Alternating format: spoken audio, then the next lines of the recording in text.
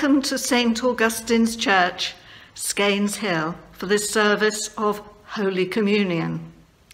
Whether you're watching with others or on your own, you're all very welcome. Today is traditionally Bible Sunday, when we give thanks for the rich heritage we have in the books of the Old Testament and the New Testament. And all our hymns today have been chosen because they are based on Bible passages. And so we begin with the first of those hymns, Thou whose almighty word.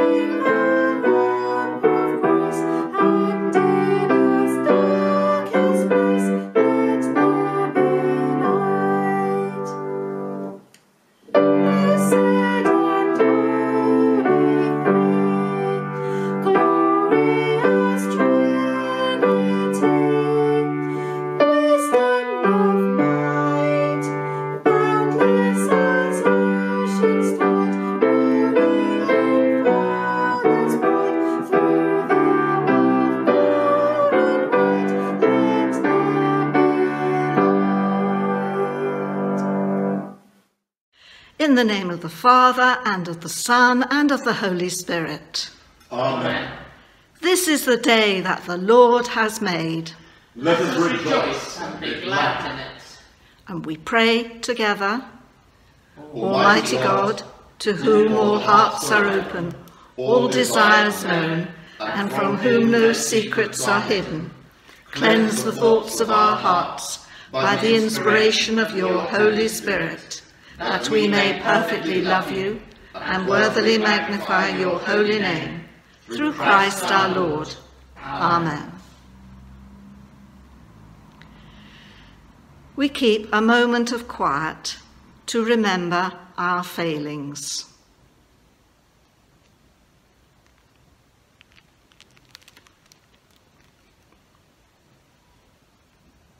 The Spirit of the Lord fills the world and knows our every word and deed. Let us then open ourselves to the Lord and confess our sins in penitence and in faith. Almighty God, our Heavenly Father, we have sinned against you through our own fault, in thought and word and deed, and in what we have left undone. We are heartily sorry and repent of all our sins. For your Son, our Lord Jesus Christ's sake, forgive us all that is past, and grant that we may serve you in newness of life, to the glory of your name. Amen.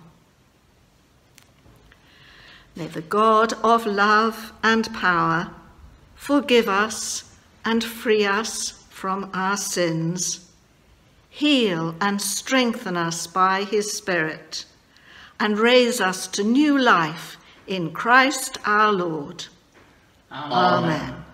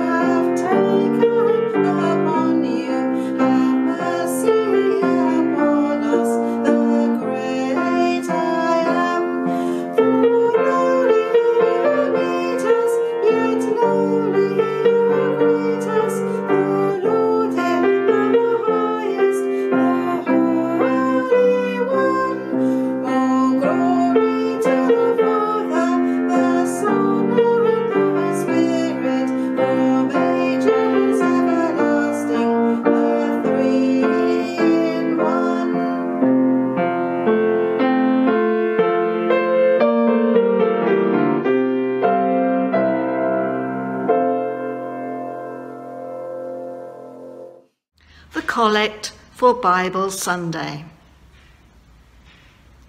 Blessed Lord, who caused all holy scriptures to be written for our learning, help us so to hear them, to read, mark, learn, and inwardly digest them, that through patience and the comfort of your holy word, we may embrace and forever hold fast the hope of everlasting life, which you have given us in our Saviour Jesus Christ, who is alive and reigns with you in the unity of the Holy Spirit, one God, now and forever. Amen. The Old Testament reading is taken from the book of Nehemiah, chapter 8, beginning to read at the first verse. All the people came together as one in the square before the water gate. They told Ezra, the teacher of the law, to bring out the book of the law of Moses, which the Lord had commanded for Israel. So, on the first day of the seventh month, Ezra the priest brought the law before the assembly, which was made up of men and women and all who were able to understand. He read it aloud from daybreak till noon as he faced the square before the water gates in the presence of the men, women, and others who could understand. And all the people listened attentively to the book of the law.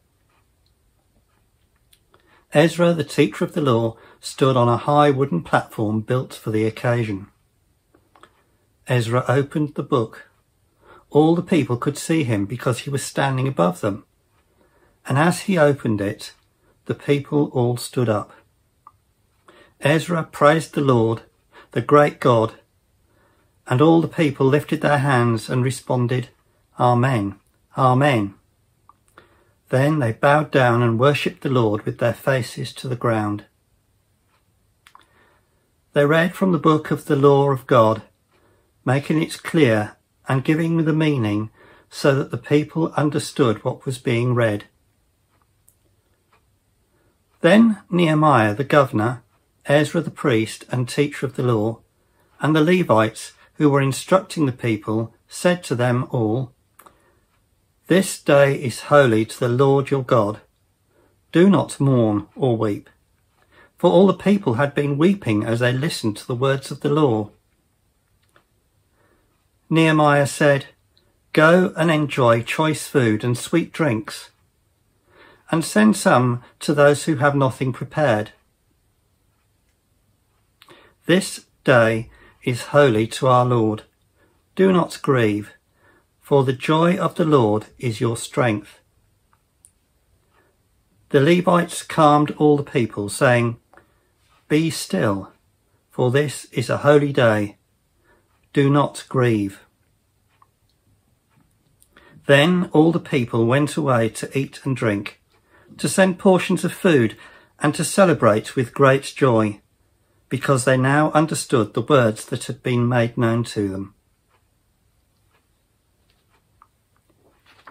The New Testament reading is from Paul's letter to the Colossians, chapter 3, beginning to read at verse 12.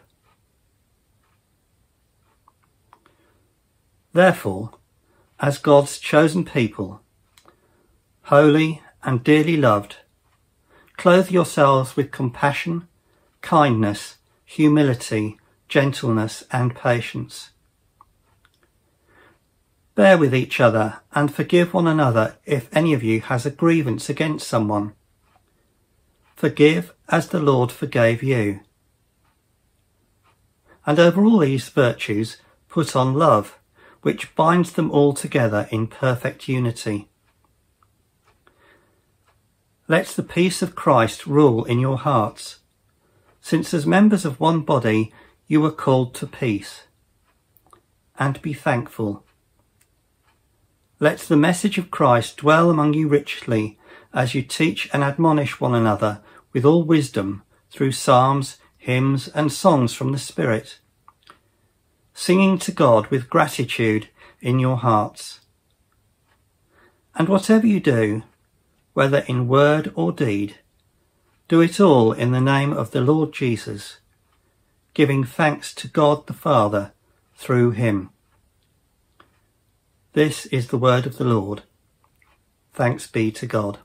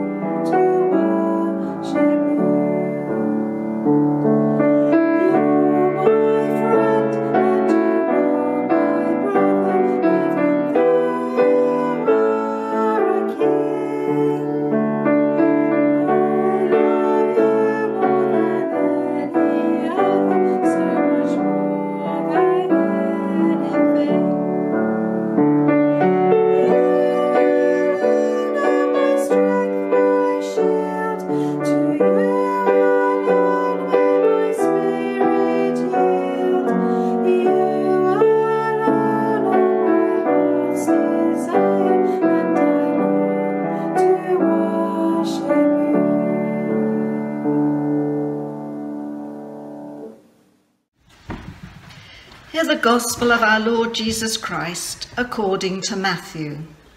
Glory to you, O Lord. The greatest commandment. Hearing that Jesus had silenced the Sadducees, the Pharisees got together. One of them, an expert in the law, tested him with this question Teacher, which is the greatest commandment in the law? Jesus replied, Love the Lord your God with all your heart and with all your soul and with all your mind. This is the first and greatest commandment. And the second is like it. Love your neighbour as yourself. All the law and the prophets hang on these two commandments. This is the gospel of the Lord. Praise to you, O Christ. In the name of God, Creator, Sustainer, and Redeemer. Amen. Each one of our readings today for Bible Sunday emphasizes the importance of the written word. That passage from Nehemiah is amazing. The Israelites had been in exile in Babylon for about 50 years. On their return, they found the city of Jerusalem and the surrounding towns were in ruins. A big construction program began. And what was also being constructed at the same time was a community.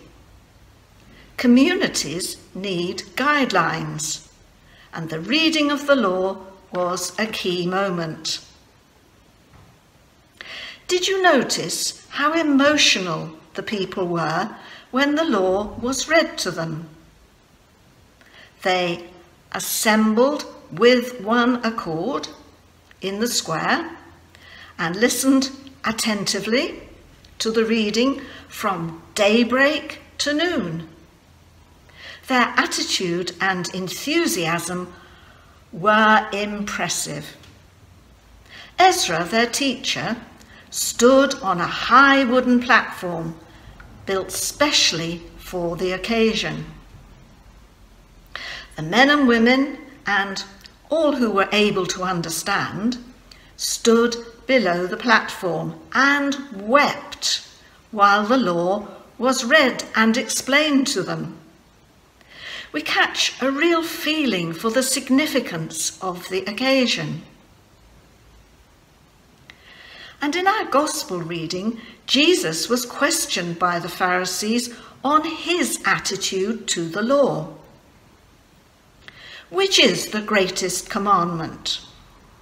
With no hesitation, Jesus replied, Love the Lord your God with all your heart, and with all your soul, and with all your mind.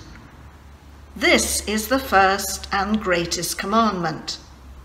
And the second is like it love your neighbour as yourself. The love expressed here echoes that serious attitude and enthusiasm of those Israelites in our Old Testament reading. If you remember, they'd assembled with one accord, they'd listened attentively, and wept as they listened.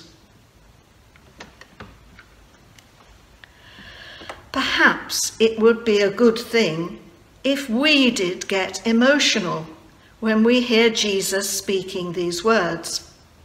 After all, those two commandments are what we, as Christians, use to build and shape our community, our community today. To be reminded of these commandments can be a significant moment for us too. We know we don't always get things right, but we do try. And notice, They are commands, not advice nor suggestions. We may not be in exile as the Israelites had been, but nowadays sometimes we do feel like exiles. Our churches are either shut or only partially open. Our usual services, which meant so much to us, are no more. I'm sure I'm not the only one to shed tears on a Sunday morning for what, for now, we have lost. Instead, we are building new ways to worship. We are stronger. Having to try harder to create worship together is what educationalists call a learning experience which has brought out new skills and strengths. We will try to do it with our hearts, with our souls, with our strengths, with our minds. The second commandment, loving our neighbour, has a new significance nowadays. The virus has taught us that we are reliant on each other. Many people are more aware of the struggle their neighbours are having to keep well fed, to keep from being lonely, to keep cheerful and hopeful. Like the earlier Israelites, we have had our instructions. We have had the law read to us. So now, on Bible Sunday, that's just the encouragement we need to travel forward together in company with our Lord Jesus Christ. Amen.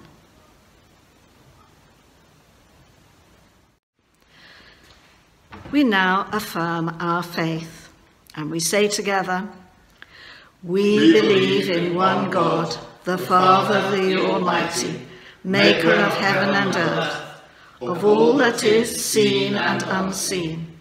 We believe in one Lord Jesus Christ, the only Son of God, eternally begotten of the Father, God from God, light from light, true God from true God, begotten not made, of one being with the Father. Through him all things were made. For us and for our salvation, he came down from heaven, was incarnate from the Holy Spirit and the Virgin Mary, and was made man. For our sake he was crucified under Pontius Pilate. He suffered death and was buried. On the third day he rose again in accordance with the Scriptures. He ascended into heaven and is seated at the right hand of the Father. He will come again in glory to judge the living and the dead, and his kingdom will have no end. We believe in the Holy Spirit, the Lord, the giver of life, who proceeds from the Father and the Son, who with the Father and the Son is worshipped and glorified, who has spoken through the prophets. We believe in one holy, Catholic and Apostolic Church. We acknowledge one baptism for the forgiveness of sins. We look for the resurrection of the dead and the life of the world to come. Amen. Let us pray. Creator God, we thank you for the cycle of life that we see all around us with the changing of seasons.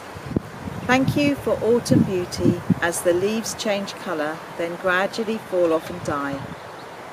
Thank you that this death and decay leads to new life in the spring as the nutrients are released to produce new growth. We pray that our experiences of the natural world will teach and sustain us physically, mentally, and spiritually. Help us to be responsible stewards in gratitude for all that you have provided. Lord, in your mercy, hear our prayer. Sovereign God, we pray for the leaders in our country, for those in politics, the health and social services, education, farming, business, industry, and banking. Help them to seek common ground over division as they address the challenges resulting from COVID 19. We particularly pray for the businesses and schools that we know. Be close to leaders as they juggle the need to control infections with the desire to protect jobs and keep functioning normally. We continue to pray for Jenny and Mark and the rest of the church leadership team at St Augustine's. Thank you for the way this church has carried on its mission to serve our church family and the local community through these challenging. Give them renewed energy and perseverance through your Spirit to lead and inspire us in this period without a vicar. Lord, in your mercy, hear our prayer. Loving God, at this time when we are facing our own worries and uncertainties, help us not to forget the enormous challenges of the poorest in this world.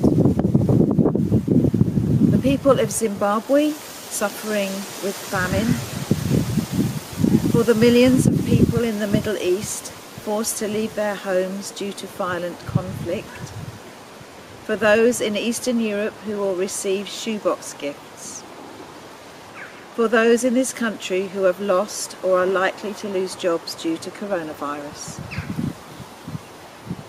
We thank you for the work of organisations such as Tear Fund, Link to Hope, who organised the Shoebox Appeal, and FSW. Help us to support them in whatever ways we can, following your command to love our neighbours. Lord, in your mercy, hear our prayer.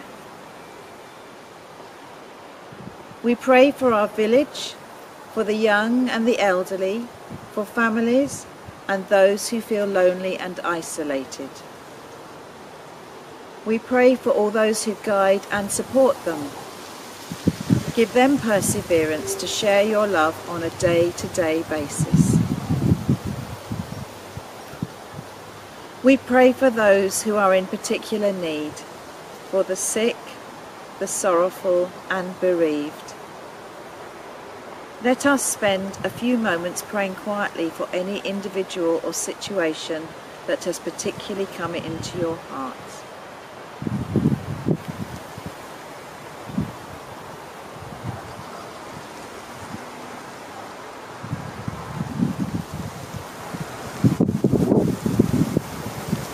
Lord, in your mercy, hear our prayer. Finally, we pray for ourselves. Thank you for the power of words for good. Help us to look for ways to share your love in the things we say, however small they may seem. Help us to be channels of your love in a world of hurt. Merciful Father, accept these prayers for the sake of your Son, our Saviour, Jesus Christ. Amen.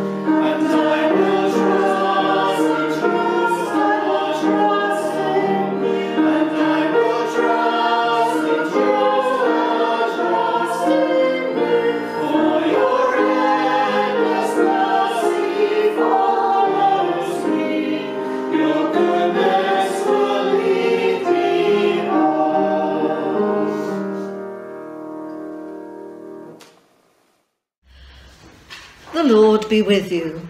and also with you. Lift up your hearts. We lift them to the Lord. Let us give thanks to the Lord our God. It is right to give him thanks and praise. It is indeed right, it is our duty and our joy, at all times and in all places, to give you thanks and praise, Holy Father, Heavenly King, Almighty and Eternal God, through Jesus Christ, your Son, our Lord, for he is your living word. Through him you have created all things from the beginning and formed us in your own image. Through him you have freed us from the slavery of sin, giving him to be born of a woman and to die upon the cross. You raised him from the dead and exalted him to your right hand on high. Through him you send upon us your holy and life-giving Spirit, and make us a people for your own possession.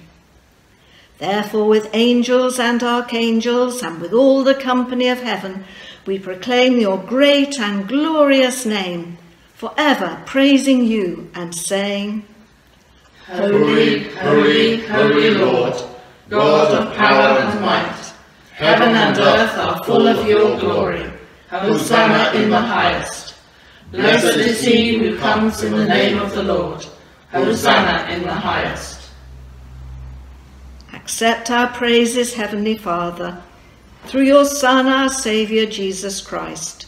And as we follow his example and obey his command, grant that by the power of your Holy Spirit, these gifts of bread and wine may be to us his body and his blood, who in the same night that he was betrayed took bread and gave you thanks. He broke it and gave it to his disciples, saying, Take, eat. This is my body which is given for you. Do this in remembrance of me.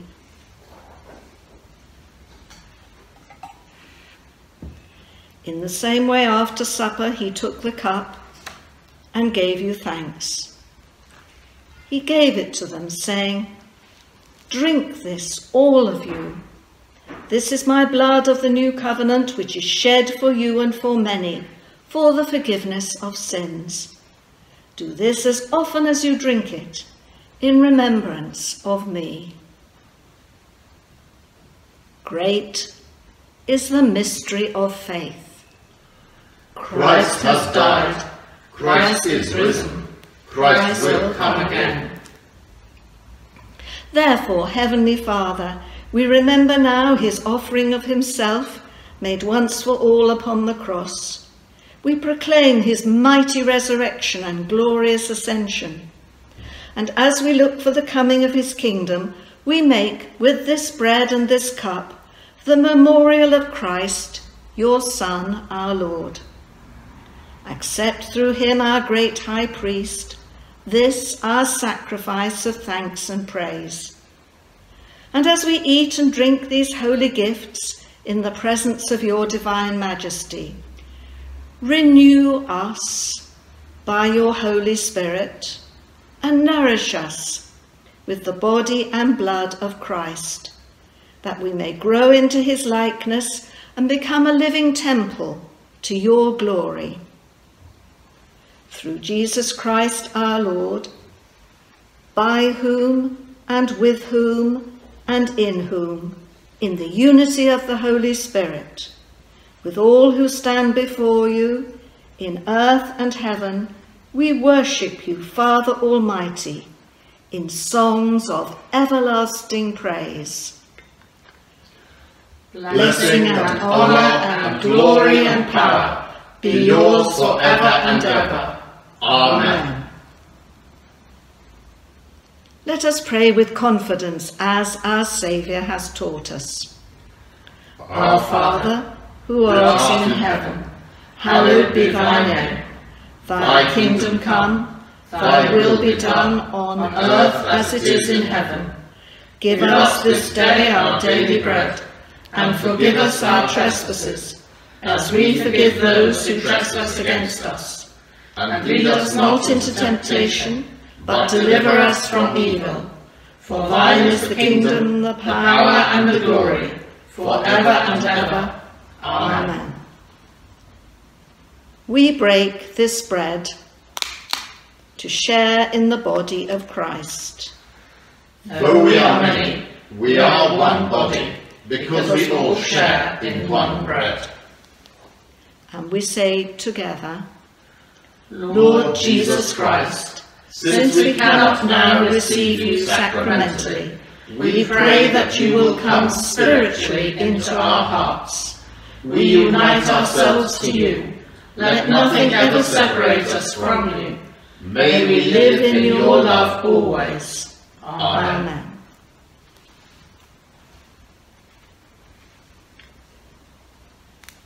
The body of Christ broken for us all.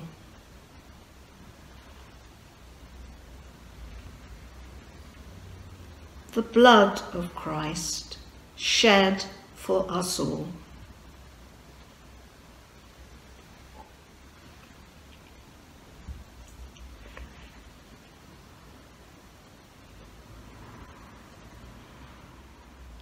Almighty God, we thank you for the gift of your holy word.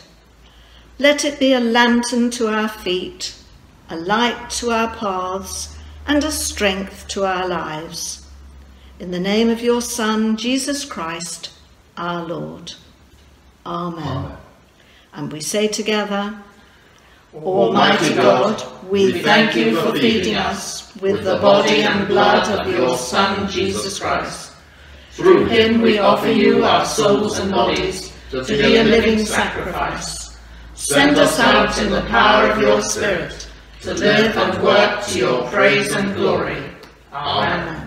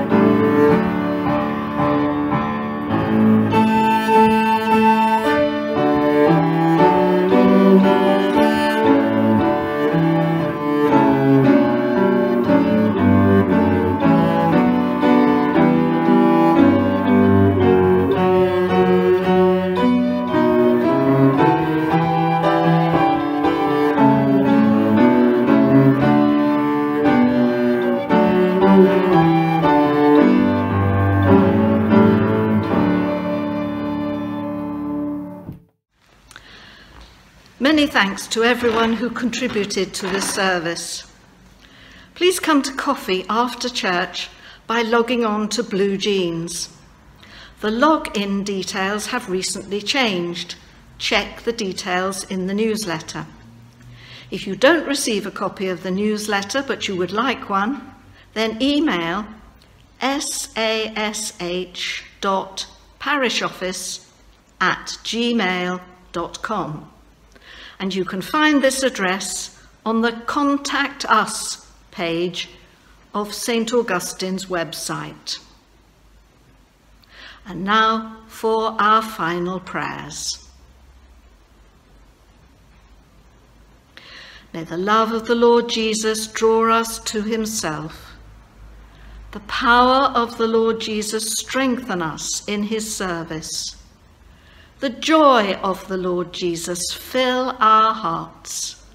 And the blessing of God Almighty, the Father, the Son, and the Holy Spirit be among us and remain with us always. Amen. Go in peace to love and serve the Lord. In, the, name, of Christ. Amen.